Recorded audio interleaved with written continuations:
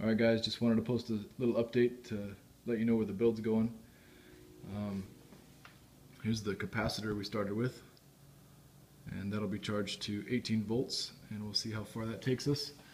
One side, that white lead, goes to a reed switch and the other side goes to one side of the coil. We've got a 12 point uh, Starship coil with super glue trying to hold that together and the other side goes back to the capacitor.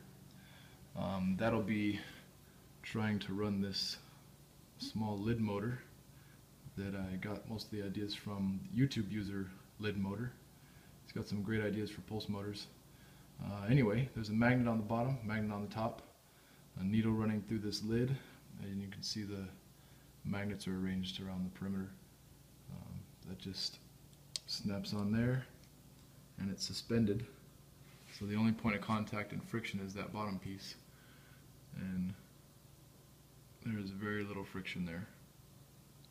So I'm trying to save as much energy as I can. Um, with the magnetic bearings here, a real small light motor. And uh, this is supposed to be strong and uh, takes very little power to get that strong uh, pulse out of it. Anyway, this is where I'm at. Um, my biggest hiccup so far is this reed switch. Um, I think it's meant for stronger magnets or a system with more power. So I'm trying to make, uh, this is a strand off of a uh, branded metal cable, uh, which is, there's iron in it, and this is not.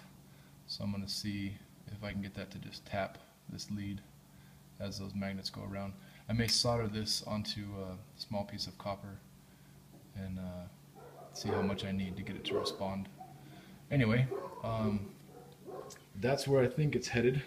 With this, another option I'm pursuing is uh, this little cylindrical magnet. It's magnetized on the outside. Um, and I'll have rods.